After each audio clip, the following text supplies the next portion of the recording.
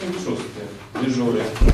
7, 14, 8 2013 roku. Punkt siódmy. Oświadczenia i komunikaty. Chciałbym przeczytać pismo, jakie otrzymaliśmy z Kancelarii Rady Miasta Krakowa.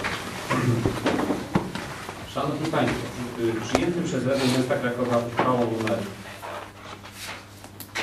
63 899 przez 12 dnia 19 grudnia y, 2012 roku w budżecie miasta Krakowa na rok 2013 środki przeznaczone na zadania priorytetowe, dzie- priorytetowych dzielnic zostały zwiększone w stosunku do wskazanych w zarządzeniu nr 2504 przez 12 prezydenta miasta Krakowa z dnia 11 września o kwotę 1 80 tysięcy y, złotych łącznie dla 18 dzielnic. To stanowi dodatkową kwotę 60 tysięcy złotych dla każdej z rad dzielnic.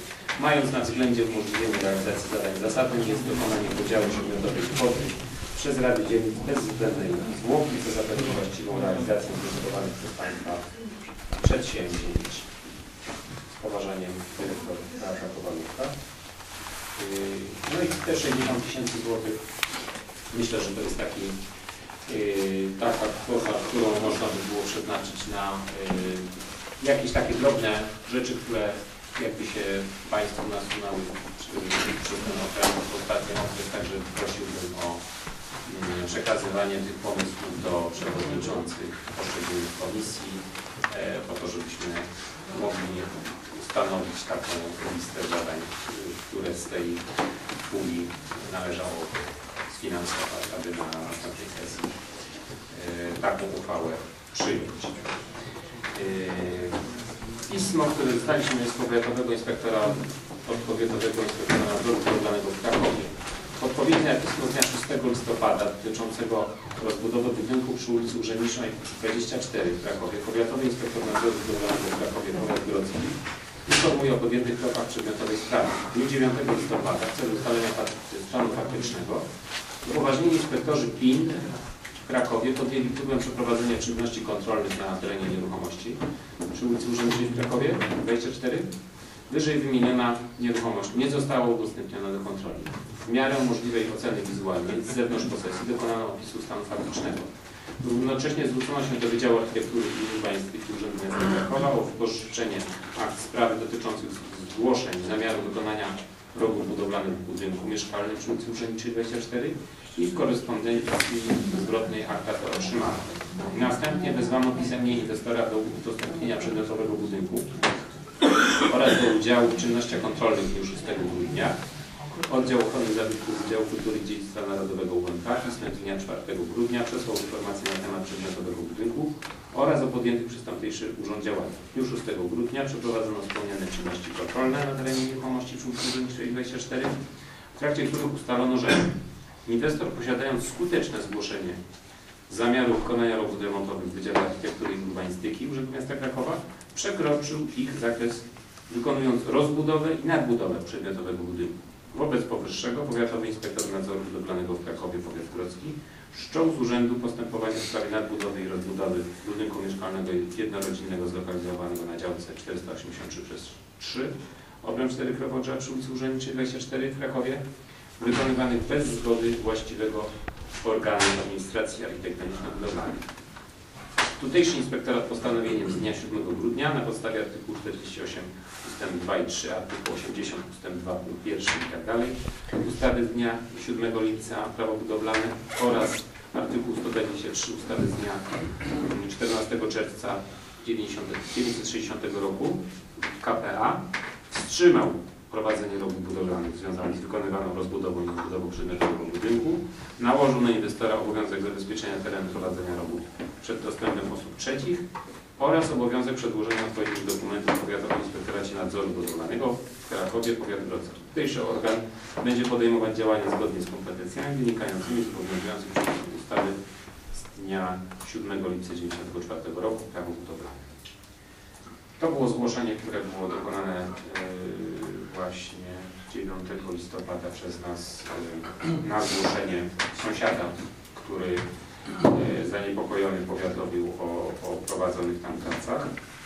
Chodzi o budynek tak zwanego naszego domku, jeżeli Państwo go pamiętają jeszcze, bo teraz już jest mało podobny do, do tego budynku, jaki był. Rzeczywiście został nadbudowany, zmieniony dach. Y, Zresztą to było też publikowane w prasie krakowskiej zdjęcia od strony mm, ogrodowej, zwłaszcza y, pokazują zakres zmian, jakie tam zostały dokonane. Duże prace ziemne, tam taka potężna pompa y, betonu pracowała, także podobno, że jest to inwestor, który y, też zajmuje się kwestią szkieletową. Trudno powiedzieć, żeby był jakby niewprawny w tych różnych y, procedurach budowlanych, bo no bo wszyscy znamy sprawę szkieleta. Następne pismo mamy od y, pani poseł y, na Sejm Rzeczpospolitej Polskiej Jagny Marczułajtis, Marczułajtis Walczak. Odpowiadając na Pana pismo z dnia 26 listopada w sprawie wypełnienia ankiety dotyczącej obywatelskiego projektu w sprawie Parku Królewskiego informuję, że sprawa jest mi znana. Dwukrotnie spotkałam się z przedstawicielem, przed- przedstawicielami ruchu mieszkańców, którzy zabiegają o przekazanie terenów wojskowych w okolicy Młynówki Królewskiej od ulicy Podchorążych do Alei Kijowskiej na zieleń publiczną dla mieszkańców Krakowa. Sama również podejmuje inicjatywę w tej sprawie, prowadząc rozmowę z panem ministrem obrony Tomaszem Siemoniakiem. Stacjonuje tam m.in. 16 Batalion Powietrzno-Desantowny, 6 Batalion Logistyczny, 6 Grupa Zabezpieczenia Medycznego oraz oddział Żandarmerii Wojskowej w Krakowie. A dodatkowo jest to miejsce pracy dla kilkuset osób. Rozumiem, że jest duże zainteresowanie opinii publicznej, jednak sprawa wymaga, wymaga czasu i dokładnej analizy. Z poważeniem jak najbardziej Walczak. Cieszymy się, że, że Pani poseł tą sprawę podjęła.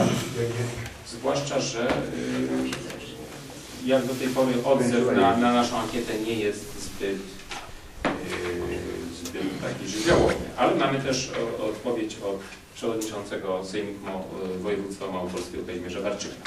W związku z pytaniami pana przewodniczącego dotyczącymi poparcia idei przekazania przez Wojsko Polskie terenów pomiędzy ulicami Głowackiego, Czyżewskiego, Aleją Kijowską, Monowką Królewską i utworzenia w tym miejscu Parku Królewskiego w Łowcowie informuję, że Sejmik Województwa Małopolskiego dotychczas nie podejmował w tej sprawie żadnej uchwały, apelu, rezolucji. Jako radny i przewodniczący Sejmiku Województwa Małopolskiego popieram ideę tworzenia niekomercyjnych miejsc użyteczności publicznej w centrum miasta, przekazywanie i rewitalizacji terenów wojskowych przeznaczeniem dla mieszkańców Krakowa oraz Małopolski. W dowód tych słów nadmienię, iż pełniąc funkcję przewodniczącego Honorowego Komitetu Budowy Centrum Muzyki w Krakowie, w tym, jak i w zeszłym roku, występowałem do Ministra Kultury i Dziedzictwa Narodowego o wsparcie idei budowy Centrum Muzyki oraz do Ministra Obrony Narodowej o odwojskowienie terenu przy ulicy Skrzatów, Bandli, Jeleniewskiego oraz ich przekazanie na potrzeby realizacji wspomnianej inwestycji poprzez zamianę z Wojskową Agencją Mieszkaniową na działki będące w posiadaniu województwa małopolskiego oraz miasta Kraków. Między innymi w wyniku tych działań w 2015 roku na tym terenie rozpocznie się realizacja jednej z największych inwestycji w regionie. Obecnie trwa konkurs zgłoszony przez samorząd województwa na opracowanie ideowo-studialnej koncepcji urbanistyczno-architektonicznej Centrum Muzyki w Krakowie. Wspomnę również, iż projekt budowy Centrum Muzyki narodził się z potrzeby zapewnienia optymalnych warunków pracy i perspektyw rozwoju dla instytucji muzycznych, w szczególności dla Filharmonii imienia Karola Szymanowskiego w Krakowie, Instytucji Kultury Województwa Małopolskiego oraz dla Kapeli Krakowiensis i Symfoniki Krakowia, a także z potrzeby rozbudowy bazy dydaktycznej Akademii Muzycznej w Krakowie, uczelni y, artystycznej o wieloletnich tradycjach i uznanej renomie, zasłużonej dla miasta Małopolski i kraju. Koncepcja Centrum Muzyki zakłada stworzenie kompleksu umożliwiającego jak najpełniejsze korzystanie z oferty harmonii pozostałych instytucji muzycznych oraz uczelni artystycznej, a jednocześnie, co istotne, zakłada przeprowadzenie kompleksowej sanacji, rehabilitacji i zmiany funkcjonalnej zdegradowanego postmilitaryzowanego obszaru Krakowa poprzez funkcjonalną, urbanistyczną i architektoniczną zmianę. Rewitalizacja fragmentu miasta o historycznej industrialnej i militarnej umożliwi spójne formowanie podstaw nowych form aktywności dla mieszkańców miasta i Małopolski oraz gości. Także z wyrazem szacunku, z wyrazem szacunku. Proszę Państwa, tutaj płyną dla nas dwie informacje, myślę, y, cenne. Pierwsza to taka, że y, został wymieniony, została tutaj wymieniona kapella Krakowiensis jako jedna z beneficjentek y, tego, mm, tego projektu Centrum Muzyki. Co za tym idzie, y, działka, która na ten cel jest przeznaczona Przy y, przy Błoniach, są Przy Mednickiej, tu, tak, no, tutaj. Czyli jak rozumiem ten teren zostanie uwolniony. y, Gdzie tak, Raczej zostanie zabudowany wysokimi budynkami. no to jest Nie, jednak, to jest przewiesz- kanał przewieszania. Tak. Niestety y, pod blachą, y, pod kasztanem właściwie, pod kasztanem y, ten, ten bar niestety już wiele lat nie, nie istnieje, czekając na kapellę, a kapella poszła do dzielnicy drugiej. Także nie, nie powiem, że jesteśmy bardzo smutni z tego powodu. Natomiast druga informacja, która jakby płynie z tego pisma, to taka, że no, jakkolwiek y, Pan Przewodniczący y, popiera tą, tą ideę, to jednak no, wynika z treści tego pisma, że głównie jednak zajmuje się y, Centrum Muzyki i jakby nie chce, nie chce się roz, rozdrabniać, że jakby na inne. No niemniej jednak przyjmujemy z radością, że popiera ten projekt. Ponadto chciałbym Państwa poinformować o tym, że rozpoczęły się konsultacje z mieszkańcami Gminy Miejskiej Kraków w przedmiocie propozycji zmiany ordynacji wyborczych w wyborach do rad dzielnic e, miasta Krakowa. I e, w związku z podjęciem przez Radę Miasta Krakowa uchwały w sprawie przeprowadzenia konsultacji z mieszkańcami Gminy Miejskiej Kraków dotyczącej propozycji zmiany ordynacji wyborczych w wyborach do rad dzielnic przekazuję w załączeniu informację prezydenta miasta Krakowa odnośnie trybu przeprowadzenia przedmiotowych konsultacji.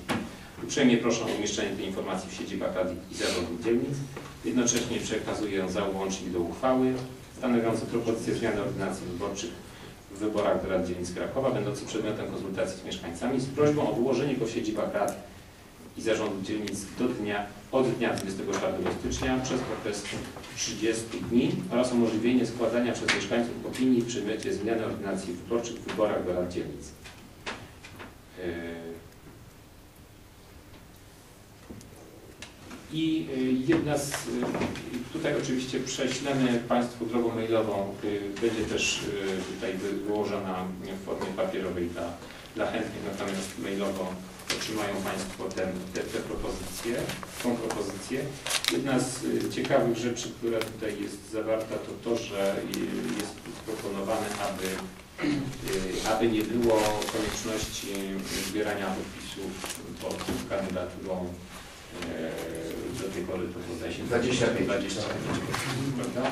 Także w tej, w tej propozycji tego, tego wymogu nie ma. Moim osobistym skromnym zdaniem y, nie jest to dobry pomysł, ale no tutaj będzie to przedmiotem właśnie naszych, y, naszych uwag. Myślę, że będziemy się do tego dostosowywać.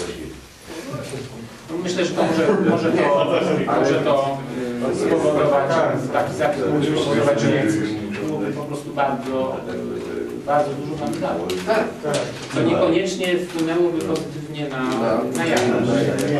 Ale zobaczymy, co przyniesie, y, przyniosą konsultacje w tej sprawie. Chciałbym też Państwa poinformować, że została mm, opracowana wstęp, wstępne materiały dotyczące kierunków zagospodarowania przestrzennego, jeśli chodzi o zmianę studium uwarunkowań i kierunków zagospodarowania przestrzennego miasta Krakowa, które zostały e, przedstawione w ubiegłym czwartek, tak? I te, y, te, te kierunki zagospodarowania w zakresie obejmującym y, naszą dzielnicę zostały nam przekazane. Tutaj też w pewnym zakresie też będziemy mogli, będziemy w stanie to przekazać y, drogą mailową, to zostanie to Państwu przedstawione w formie papierowej, jest to też tutaj do oglądu. Bardzo proszę o, o zapoznanie się z, tym, z tymi materiałami. Jesteśmy zobligowani do To była y, taka prezentacja, konferencja przygotowana przez Biuro Planowania Przestrzennego. Oni są zobligowani e, już uchwałą Rady Miasta, chyba nawet z 2006 roku, o zmianę studium uwarunkowań, ponieważ jest już nieaktualne. Była prezentacja dla całego Krakowa i dla poszczególnych dzielnic. Są nowe kierunki. Była prezentacja tematyki kulturowej, transportu y, przestrzennej i później poszczególne dzielnice były. Dostaliśmy część dotyczącą dzielnicy piątej. Oni proszą, żeby ewentualnie, jeśli jakaś dzielnica będzie miała swoje uwagi i będziemy chcieli wskazać też swoją na przykład przestrzeń publiczną, którą uważamy, że powinna być zagospodarowana jako centrum dzielnicy, to żeby y, te uwagi przesłać do 30 stycznia do, do Biura Planowania Przestrzennego. E, Jakiekolwiek w ogóle. No, tutaj jest dokument, można się zapoznać e, nie tylko dotyczące dzielnicy piątej, bo co w ogóle całego studium. Jest też wersja elektroniczna dotycząca dzielnicy piątej, więc e, możemy przesłać mailowo do każdego. E, No to są prace początkowe, to jest do wiadomości dla Państwa, to na razie nie są konsultacje społeczne. Jedno, co tutaj rzuciło mi się od razu, to y, w, tej, w, tej, y, tym opracowaniu y, teren, o którym przed chwilą żeśmy mówili, czyli te tereny poboiskowe, tutaj przeznaczone jako do zabudowy y, mieszkaniowej. Także tutaj myślę, że na pewno na, na, nasz, nasza uwaga myślę, że na pewno będzie dotyczyła co najmniej tego jednego punktu. Jeśli chodzi o wskazanie centrum dzielnicy, to tutaj też ma ściśle ściśle określone miejsce, w którym będziemy chcieli, żeby takie centrum powstało, czyli rynek zawoderski. Proszę Jaka jest powierzchnia tych terenów wojskowych? Oni tam opisali, które mają być 18 hektarów. hektarów. Kawał terenu. Ja chciałem zapytać, jest ewentualnie mowa tam e, odnośnie przedłużenia alei kioskiej w stronę Rejmonta. Mogę rozpocząć? Drugą? Bardzo proszę. Ja tutaj nie będę się teraz wypowiadał na temat tego, ponieważ ja jeszcze tego y, opracowania nie, Nie szczegółowo nie przeglądałem, także nie będę y, się wypowiadał, bo go nie znam. To jest świeży dokument. Tam dostaliśmy dwa tygodnie na opinię. Jeśli można. Bardzo proszę. Y, Mam trzy informacje, to znaczy tak, żeby Rada po prostu wiedziała, bo interesowałem się, nawet kiedyś tu pytałem. y, Remontowany był w piątym Wojskowym Szpitalu Rejonowym y, budynek ostatni, ten najbliżej Broniski. Zrobili go git, prawda, wyremontowany to i tak dalej. No to py- pytam teraz, bo ich spotkałem dzisiaj, y, co, co powstało, co będzie w tym budynku. Myślałem, że tam gabinety jakieś lekarskie i tak dalej. Y, Centrum, Wojskowe Centrum Krwiodawstwa, sa, samodzielny zakład publiczny, czyli niepodległe szpitalowi jako samodzielna instytucja.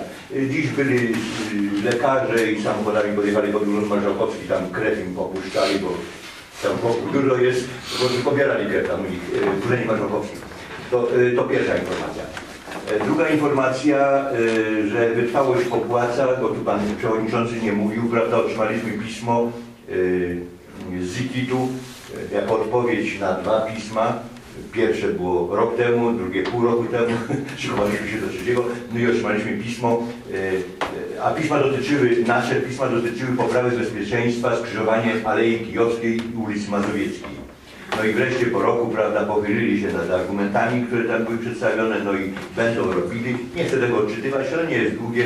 Dotyczy generalnie, teza jest taka, że powstanie tam wyspa azylu. Wysepka azylu. No ale w związku z tym pewne przesunięcia przejścia dla pasów, tych przejścia dla pieszych będą przesunięte i tak dalej, i tak dalej. Ale nie znam szczegółów, bo to jest taka ogólnikowa odpowiedź. No to będzie pewnie Tak, jakiś to, projekt. to jest druga informacja. I trzecia informacja, e, Panie Przewodniczący, żeby wiedział, no i Rada, że e, poprzez budowę tego budynku mieszkalnego, czy chcemy, czy nie chcemy, tracimy stano cztery stanowiska samochodowe, e, parkingowe dla samochodów. W tej zatoce, która jest, dlatego że wjazd do garażu podziemnego to jest rąb, y, podstawa 6 metrów, y, część górna 3 metry, czyli to jest jeden samochód. E, Betonka będzie skruszona 15 metrów w stronę mazowieckiej, betonka będzie skruszona 15 metrów i na miejsce betonki powstanie trawnik, a w stronę Kazimierza 5 metrów betonka będzie skruszona, powstanie trawnik. No to że trzy, trzy, około 4 samochody by się na tej całej przestrzeni zmieściły. A A że nawet więcej, jeśli prostopadnie. no, a kwestia tego typu, że no, y, ziki y, y, tak, y, tak są zatwierdzone, no bo warunki bezpieczeństwa, jak będą wyjeżdżać, no to, to po prostu muszą mieć widoczność, a tak to byłaby widoczność ograniczona dla tych samochodów wyjeżdżających z podziemnego garażu, spod tego budynku. No i tym jest to podyktowane. Tak, dziękuję. Tak, jeszcze nawiązując do tego, co Pan Radny Wiach mówił, jeśli chodzi o ten budynek, to y, chciałem poinformować, że w sprawie, której y, właśnie, która była zgłoszona do prokuratury, jeśli chodzi o y, nieprawidłowości dotyczące wydania zezwolenia na, przez ZIPIK na,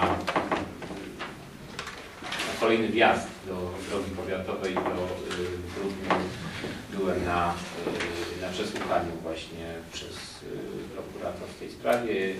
Ma być też tam, miało być tam jeszcze inne osoby przesłuchiwane o, o wynikach tych, tego postępowania. Mamy zostać poinformowani na piśmie. Zobaczymy, jaki będzie to efekt.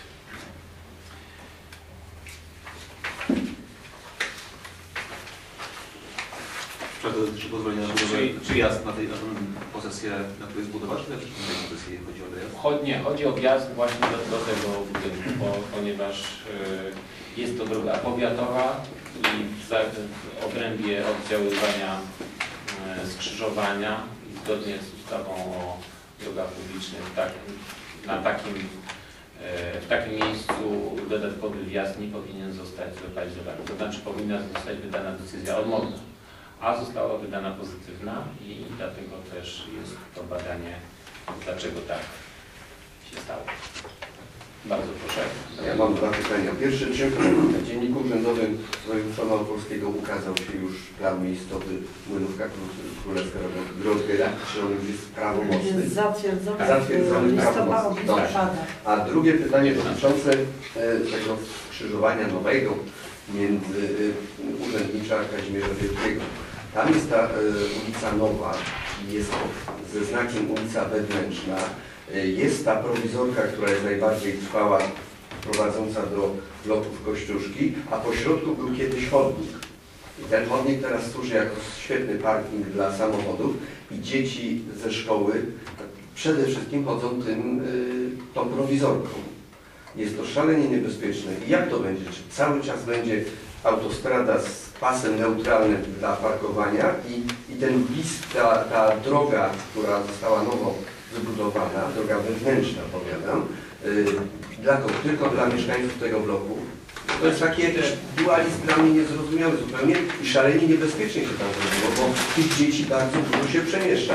Mało tego, zmieniono piękny na, ten y, sposób y, rozwiązania. No, Tam jest to szokujące, ale ponoć tak musi być taki, taka rura średnicy dość potężnej, na której umieszczone są światła.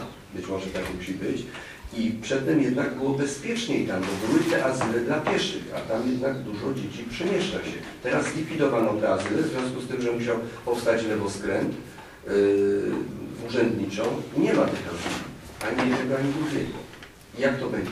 Dalej- Znaczy no, Właśnie, bo- dalej, jest, dalej jest tam y, sygnalizacja, prawda, która została, została rozbudowana w stosunku Tak. do tego, co było, prawda? Wtedy ona była tylko w ciągu ulicy Kazimierza Wielkiego. tak. Teraz jeszcze mamy na y, po jednej stronie urzędniczej i po drugiej. Natomiast y, tam dalej są prowadzone prace, jak Państwo, pewnie Państwo zauważyli, na początku ta, to, y, ta sygnalizacja świetlna była na, na zasadzie takich podwieszek białym kabelkiem. Y, Ciągle się tam coś y, dzieje. Te, Ale, te właśnie ta słupy, rura wygląda koszmarnie. słupy zostały już zamontowane, tam były robione przewierty pod, pod, tym, pod tą jezdnią. Ciągle się tam coś dzieje.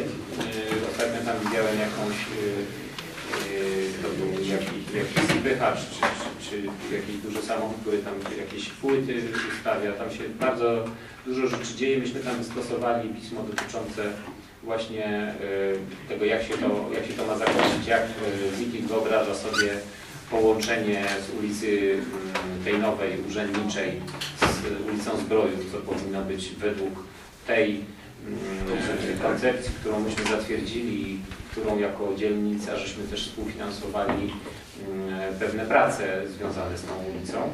I oczekujemy, że będziemy o tym y, na bieżąco informowani i y, chcemy też y, zrobić tam wizję, bądź też pod, no, wizja nawet nie jest tak, tak potrzebna, jak i jak jasną deklarację z IKT-u, jakie tam prace mają być przeprowadzone, bo z tego co wiem, to szerokość tej nowej ulicy nie jest i docelowa. To znaczy tam w lesie brakuje około metra.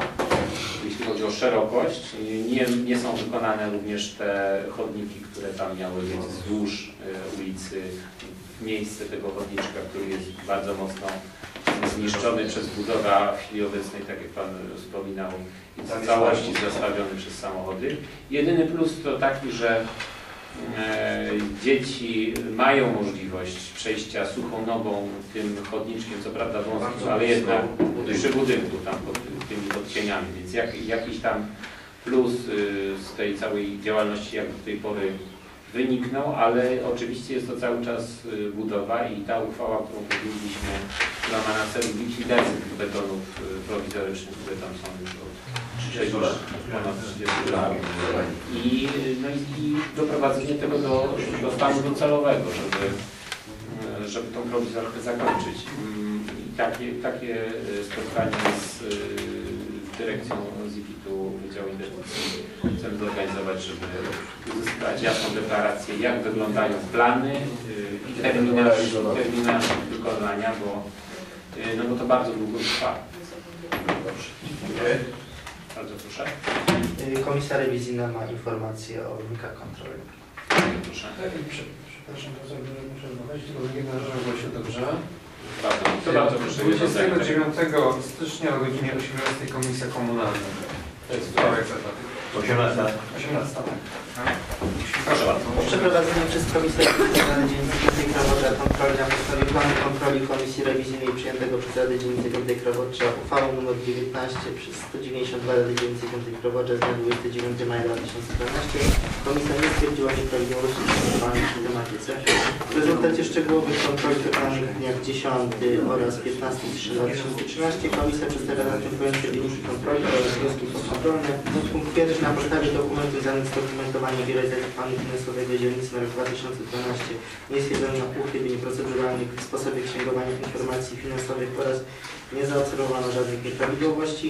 Punkt drugi gospodarowanie mieniem powierzonym dzielnicy przez Radę Miasta odbywa się w sposób prawidłowy. Punkt trzeci Wszystkie odbyte posiedzenia zarządu dzielnicy Piątej Krowacza są dokumentowane ze starannością, nie stwierdzono żadnych uchybień prowadzonej dokumentacji. Punkt czwarty kontrolowany przez Komisję dokumentów dotyczących wykonywania uchwał Rady i Zarządu, w tym delegacji nadawanie biegu uchwałom opiniodawczym, nie stwierdzono nieprawidłowości. Punkt piąty nie stwierdzono uchybień prowadzeniu księgi ewidencji pism wychodzących, przychodzących przez kategoryzację pism oraz segregatorów zawierających dokumenty wewnętrzne Rady Dzielnicy Piątej. Każdy wpływający i wychodzący dokument ma przydzielony numer organizacyjny, numer kolejny, datę otrzymania lub wysłania. Wszystkie opatrzone są pieczęcią oraz anotacją przewodniczącego Rady i Zarządu Dzielnicy Krowacza. Punkt szósty. Stan realizacji zadań priorytetowych i powierzonych nie budzi zastrzeżeń. Bardzo dziękuję. Bardzo proszę. Państwie, mam taką bardzo krótką informację.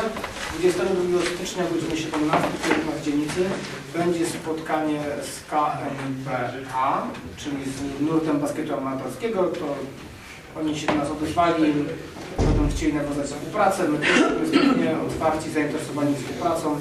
Jest to chyba najprężniej działająca organizacja dotycząca, zajmująca się koszykówką amatorską w Krakowie.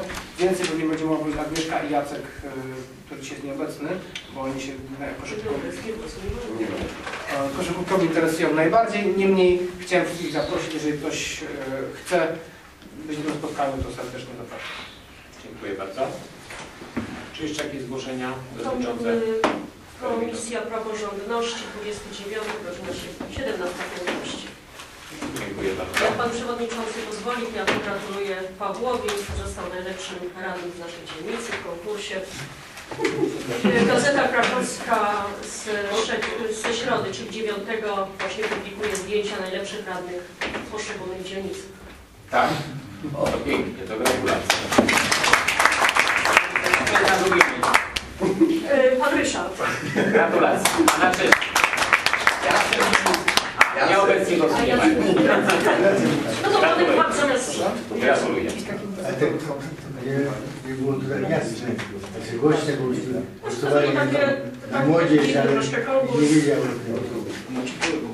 y, To miał więcej IT. Kilka, kilka. Kilka. Jest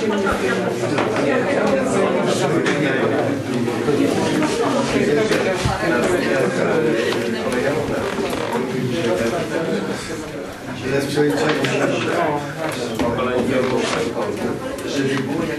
Nie widzę więcej zgłoszeń. Bardzo proszę. Ja jeszcze chciałem taką sprawę poruszyć e, tutaj do Komisji Komunalnej na ulicy e, Zymsików. Jest taka wysełka która w ogóle do niczego nie jest potrzebna i nawet tam przy poczcie. Ale to jest kościelnej. Kościelna No tak. Zaczyna się Grimsiku. No w Zymsiku, no tam No, jest ta, ale jak jest Jarzynowy, wiemy. poczta Tak jest, tak jest. i tam w ogóle ona od lat y, jest, mieszkańcy nie za bardzo są zadowoleni z niej, ona nic nie daje komunikacyjnie, wręcz y, utrudnia jak się skręca z Grodgera w lewo, To trzeba ją objechać, bo jest nakaz y, z Trzeba ją objechać, a tam stoją samochody na, e, na, na, na chodniku i, i, i czasami ciężko się w ogóle je złożyć.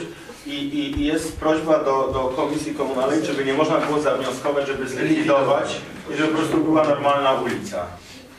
Bardzo Myślę, że jest słuszna to... uwaga, zresztą myśmy już występowali kilka Chyba razy to w tej- było. w tej sprawie, nawet już było bliskie realizacji, ale w zeszłym roku, ale jakoś, y, jakoś się nie udało. Pewnie, pewnie y, łatwiej to będzie, jeżeli znajdziemy na to te środki, bo Natomiast. Natomiast jeśli chodzi o zasadność, to ona została potwierdzona przez, przez inspektora, że to nic nie pomaga, a tylko utrudnia. Jeszcze jedna uwaga, dzisiaj idąc ulicą urzędniczą jest e, jedna kostka bukowa ustawiona na takiej naprawdę dziurze. Nie wiem komu to jak najszybciej, żeby tam wymyło, chyba wy- wypłukane Tak, jest. tam Nie jest szalenie niebezpieczne, Tam, tam bo jeżeli ktoś mówi, to złamie nogę. Na razie ta kostka jest, ale jak ktoś uprzejmy przerzuci ją gdzieś, tak się wpadnie, to jest bardzo niebezpieczne. Bo to nie jest duża e, przestrzeń, ale, ale tam jest na pewno głęboko. Przy remontach jest troszkę też takich No nie, nie, tutaj jest... nie przy, duży przy. Jest Trochę takich płyt y, z kanałów chyba telekomunikacyjnych, też takich dziurawych na wylot. Bardzo prosimy, jeżeli Państwo widzą takie coś, żeby sfotografować y, komórką i przesyłać od razu do nas y, mailem, żeby można było dalej. Ja nie miałem Niemożliwe. Bez, bez aparatu. No, ten stary zabytkowy jest od mnie fotografii. Prezydencki. Nie widzę, nie widzę więcej zgłoszeń. W takim razie zamykam 20 sesję Rady. Dziękuję.